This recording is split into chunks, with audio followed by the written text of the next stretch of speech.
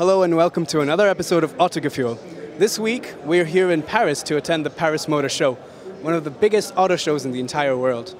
There's a bunch of new things to check out in this event, like for example this. This is the Seat Ateca X-Perience. Now Seat has been having tremendous success with its all-new Ateca, and to build on this success, they have uh, released this special edition uh, Ateca X-Perience. Now this is not production ready, but as you can see, this is based on the standard Ateca. But what's different is, for example, the suspension is firmer, the ground clearance is raised, uh, the car comes with off-road tires as well as an exclusive wheel uh, design. Over here in the front, we can see that the car has a different front bumper and uh, this extends to the side skirts as well as the rear bumper. Now this color scheme is also very unique to this Ateca X-Perience model. And furthermore, this is completely scratch, uh, sorry, scratch resistant. So they're trying to improve the off-road ability of the standard Ateca. Uh, this car has a 2-liter diesel engine uh, mated to a 7-speed dual-clutch automatic transmission. Uh, the four-wheel drive is the Haldex four-wheel drive system and the traction control. Now let's go look inside.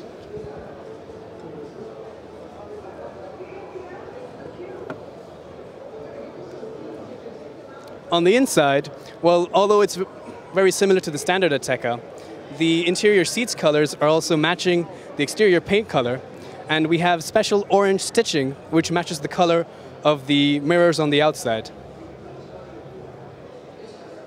Let's take a look in the back seat as well.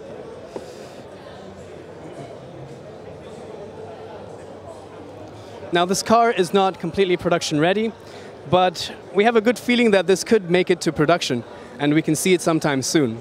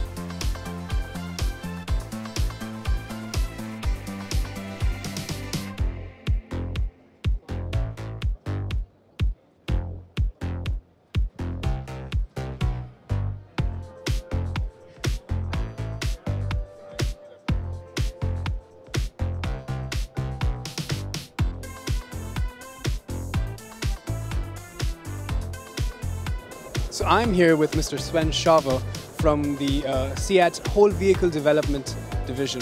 Thank you so much for being with us. So why did you deem it necessary to improve on the uh, 4x4 version of the standard Ateca? Yeah, thank you for coming uh, to SEAT. Um, let's say uh, when we initially uh, started the um, press uh, presentation with the new Ateca, uh, we concentrated on the urban part of the Ateca because that we, we, know that most of the customers uh, clearly will use this car in urban uh, conditions. But it's an SUV and an SUV clearly has an off-road aspect as well. And uh, in this presentation we would like to focus more on this and that's the reason why we presented this car, as you can see here on my right side. Uh, so this is uh, with, uh, let's say, a little more off-road um, applications uh, bigger wheels, um, uh, uh, olive matte color, some additional parts on the front and on the rear, and then all this to express a little bit more the off-road character of this car.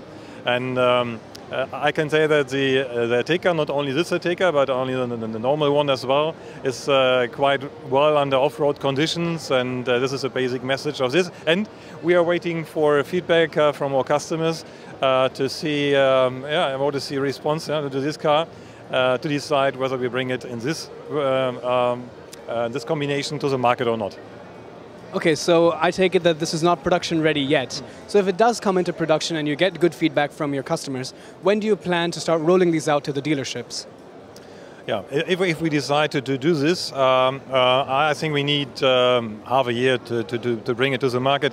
Um, Uh, one one uh, important information is that um, some of these parts that you see that we are added to this car are already available uh, via accessories. So we have a, a variety of uh, additional parts available for the Ateca, and some of these uh, um, are today available. Uh, that's in the market. So our customers are in fact able to to build up, let's say, a car that is quite similar to this one here. Uh, and the other things that we introduced here in this cars that we have to decide, and then, then yeah, maybe half a year, but depends on the on the uh, feedback on the fair. Well, thank you so much for being with us, and all the best. Thank you. Thank you for coming. Now, for more on this car, here's Thomas with an exclusive interview. And now Thomas is joined by Luca De Meo, SEAT CEO, and a very exclusive interview just for you. And we want to know, first of all, in general, the Seat Ateca, how has it changed the brand and the sales success? Well, I think it's uh, it's early to say, but uh, certainly this uh, product is bringing the whole brand in a new territory. Uh, it's actually attracting new customer for the brand. I think for uh, any volume brand in Europe to be successful in the SUV is uh, now essential. Is the kind of a new interpretation of uh, sportiness, and uh, Seat was all, has always been associated to the idea of being a sporty brand, dynamic and emotional. So I think it's a perfect car for us and also for the customer. That's why they're floating in, you know, thousands to buy the product.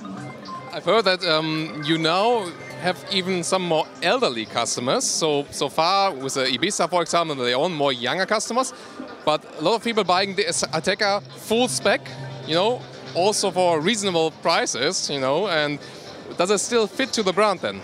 No, I think we're keeping we, we, we keep being one of the youngest uh, brand uh, uh, in Europe, and we are very proud of it. And uh, I think it's a tradition that we want to continue. This uh, car normally are at least at the beginning attracting a certain kind of consumer. I think we're going to continue to position the car on the on, on the youth side because that's that was what is coming to us more natural, let's say. And now we see the car right here, the Ateca X-Perience, and we've already tested the Leon X-Perience. I think it was about one and a half year ago. And why did you come up with a special model here also for the Ateca? What's the reason behind it? But obviously, as you're saying, the people are buying a pretty high spec product. So I think we should work uh, to continue to kind of serve that demand. And so we will do other exercise like this. And we actually wanted to come to Paris also to get a feeling whether such a product like this would appeal to the consumer, to the media. And uh, when, when we have uh, you know, concluded and make a summary of the things, we will decide whether it makes sense to do this uh, yes or no. But I have a good feeling about it. So it's not 100% fixed that it will come as this way, but you probably will do it. Yeah, I think uh, it's one of the ideas that we have to keep, uh, let's say, the emotion and the excitement uh, around the product and to serve the demand of people that are now buying in large majority product very high spec. Yeah, big engines, uh, full spec, big wheels, uh, you know, cool colors, and which is, I think, is good. It's always a good sign. What are the main features here on the experience that uh, you like best? I, I, think the design makes a lot of it. So I think uh, I think uh, we have you know bigger wheels. Uh, the design is uh, has more character. You have a lot of SUV parts. We change also the interior. We have 190 uh, horsepower diesel on, the, on, on, on that product. It's all, obviously the full uh, spec is on on that product because it will be some high-end, let's say, specification of the product. And I can also give you some feedback from our viewers because um, a lot of people told us, oh, I've bought a Seat Ateca or I want to buy it. Um, but in my market, I can only get the combination this with this and this, you know, about DSG or not, yeah. all-wheel drive or not, small diesel, big diesel. So people like to have a little bit more engine choices. I, I can give you that from, from our viewers as feedback. Um, and looking to the future, will you maybe improve that point that you can get more combinations for each market? But maybe, you know, the, the, the combination of engine, uh, gearboxes, uh, model uh, uh version, etc., at the beginning is always uh, a little bit limited, and then slowly, slowly, you, you get that oh, each one of the production. So the, the reaction might also, uh, let's say, depending on, on, the fact that the, the physical availability of the product is not there, so we tend not to open it in the car configurator, etc. So I think if the car is successful, we can, you know, know, uh, look at some variation in the thing. Sometimes I have the feeling on some product we are even too complex. There are so many variation that, uh, you know, that is difficult to, you know, is difficult also for the consumer to choose. But in some, some more passionate people that really want a unique thing, they are looking on every details and we are happy to serve them.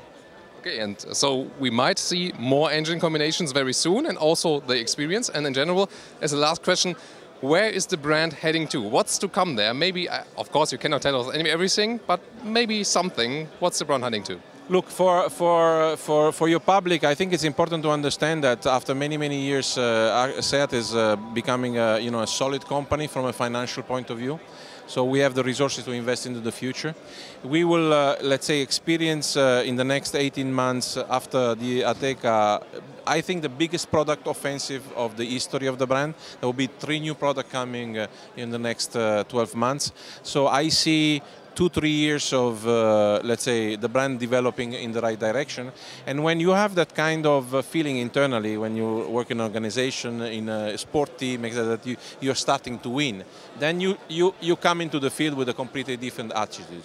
And what we want to take, we want to take the advantage of this time, of these years, to really think at uh, SEAT that is still a young brand, that is still a dynamic brand, is an emotional brand from the south, etc. But uh, all the discontinuity that are happening in the automotive industry give uh, to a brand like us, some kind of challenger brand, opportunity to position itself as a front runner, maybe on one of the fields. I am a personal believer that uh, the whole story of the connected car is very relevant. So the idea of putting uh, our product into the center of a digital world will make the experience uh, completely different for consumer. And as we have younger consumer, they will probably be some of the first adopter.